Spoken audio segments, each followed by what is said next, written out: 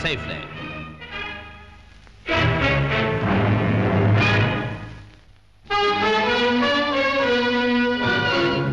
For nearly 200 years, Italians living in the small town of Genzano, some 18 miles from Rome, have been famous for their flower petal mosaics.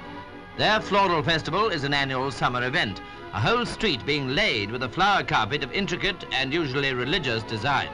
Even the shading is put in, and yet the whole job only takes about four hours.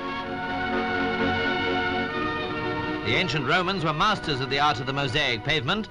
Their descendants are equally skillful in this very different medium.